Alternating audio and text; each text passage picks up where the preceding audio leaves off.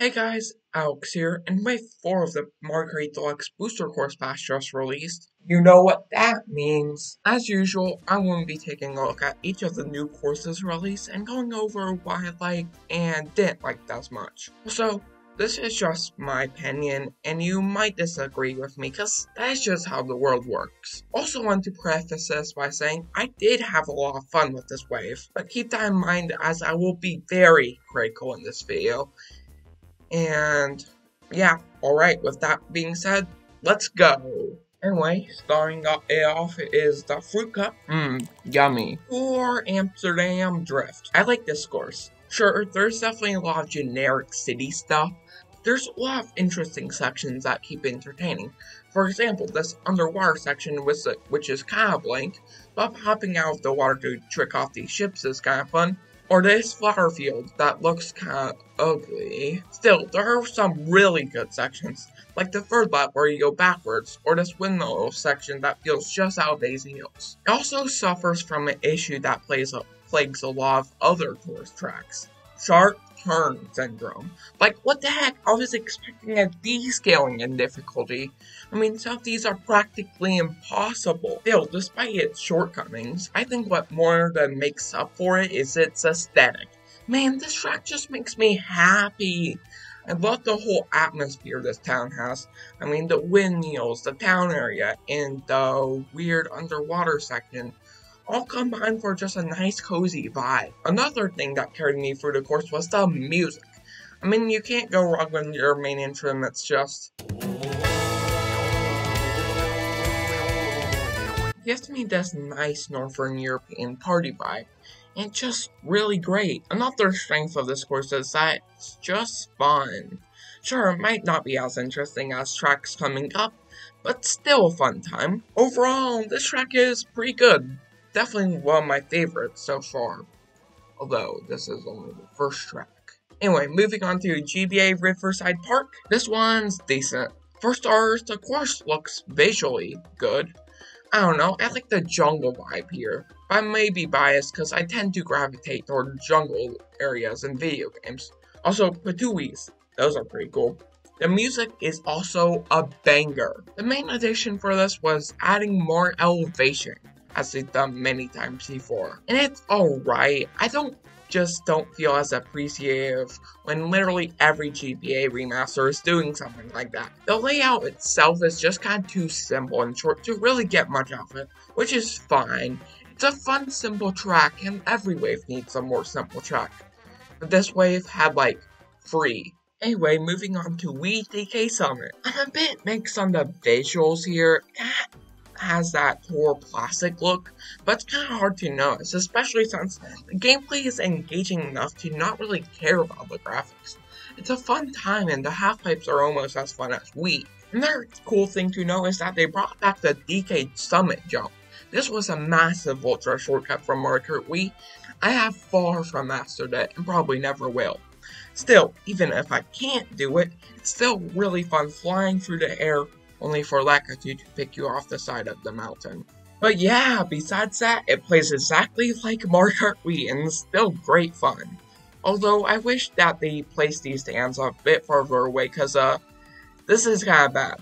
But yeah, DK Summit. You know what else is good? It's music. They take a more rock themed approach with this song, and I while I see why people don't like the new take, I absolutely love it. Ending it off is, though, is a brand new course, Yoshi's Island, based off Super Mario World 2, Yoshi's Island. Yoshi's Island is actually really cool. First of all, the visuals here are awesome. There's so many colors, especially the background, it just pops off with how much color there is. We have these big monster heads, a colorful sky, and Poochy, my boy! The course itself has you go for a variety of locations, and honestly, each could be their own track. Also gotta give props to the Shy Guy on stilts. This is very funny, and easily one of humanity's greatest creations. Right, there's like hundreds, so uh... And yeah, it's just so fun going through this course, and the course just makes me happy, which is a common theme with all the Fruit Cup tracks. Only complaint I have is that I just kinda wanted more, which isn't much of a critique of the course itself, but is an indication of a good course. Also, the music remixed the athletic theme from the original game, which ironically enough, I'm nostalgic of. Not because of the original game, heck no, but because of they used that song in Total Drama Roblox. And I don't know, I like that game as a 12 year old. That's kind of embarrassing. Anyway, before we get into the final four tracks, they actually made some changes to the game once again. This time we have a new character, Birdo. I I've expressed my thoughts on this before, but my thoughts come down to okay, cool, but why? A minor nitpick that I'll enforce into your brain is that the naming scheme is different. See, for with for example, Yoshi, it's Blue Yoshi or Yellow Yoshi, but this one is Birdo parentheses Blue or Yellow. Also, these alternate colors look really ugly. Why do why do they look like that? Still, the possibilities for new characters are crazy. We're getting five more of these, and brings me a little hope that Wiggler will be added. But no, it'll probably be replaced by something stupid like Peach-Out or Baby Pink Gold Rosalina. They also did a bit of meta changes. I don't want to go in depth because I'm not exactly the greatest at this stuff, but in short, a bunch of characters were buffed, which basically replaced a bunch of weird combos which, with a bunch of weirder combos. I don't really care since Donkey Kong Scooty is just epic, but Inkling Boy Cat Cruiser is an alternate option if I want to get more meta. Also, Wild Wigglers aren't apparently OP anymore, so yeah, just this for a Wiggler. Anyway, starting off the Boomerang Cup, we have Bangkok Rush, and to be honest, I'm not the biggest fan of this one. There's some cool sections here, like this big glider section, the smart jump, mushroom gorge jump thing, and the ship section at the start is cool, and Kung Fu Lakitu 2, yo! But besides the memorable sections, it's honestly just a generic city. Like, yeah, there's some cool visual changes in, like, background and such, but didn't really leave much of an impact for me. Also suffers from sharp turn syndrome, which I mentioned earlier. Granted, this one isn't as bad, but an issue nonetheless. Overall, Bangkok Rush is kind of an underwhelming track. Hopefully Nintendo does better in the next race.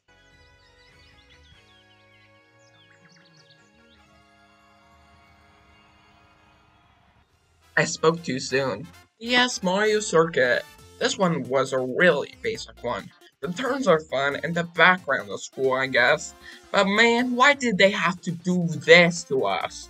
Gosh dang it. It's really just a basic circuit and it's alright.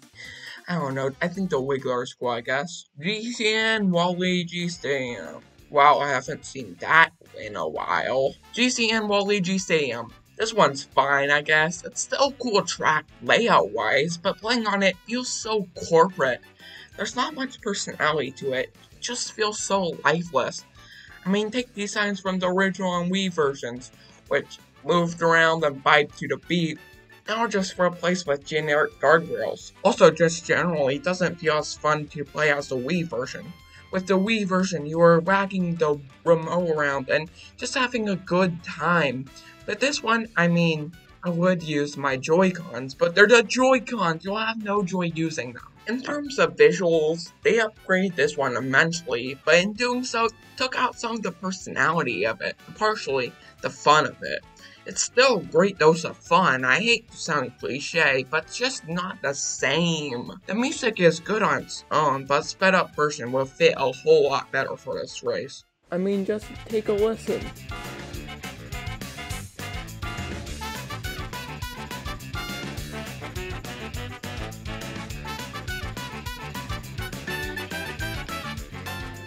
Anyway, wrapping it off is Tour Singapore Speedway, and gosh dang it, this one's awesome. And it really just comes down to two things. Firstly, it's just fun to race through, which is something that almost all these tracks now, but this track just may be the funnest. There's also a ton of variety, at least in me. I mean, you think you're racing, then five seconds later you're on a glider section, then boom, Goombas with floaties, awesome. And then another big glider section, and that's just the first lap. The other two laps don't disappoint either. We have Chinatown, these aero sections that should have been literally anti-gravity, and a bunch of glider sections. I love my gliders! Also, the music is a banger, just take a listen.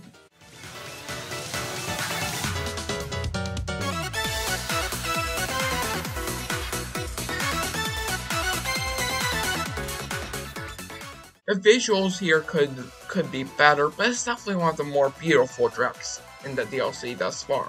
But yeah, Singapore Speedway is really great. Hopefully the next few tour tracks will be good. Anyway, that's all my thoughts for today. Here's my overall ranking for the wave. Number 8, DS Mario Circuit. Number 7, Tour Bangkok Rush. Number 6, GCN Waluigi Stadium. Number 5, GBA Riverside Park. Number 4, Tour Amsterdam Drift. Number 3, We Day K Summit. Number 2, Tour Singapore Speedway. And number 1 is Yoshi's Island. No, no surprises there, right? Overall, this wave was okay, I guess.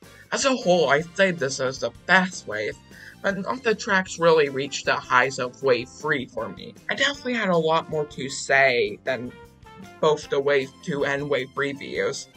But again, I did have a ton of fun with this wave. Anyway, I'm hoping for 3S Wario Shipyard to be in the next wave. Heck, I even started a petition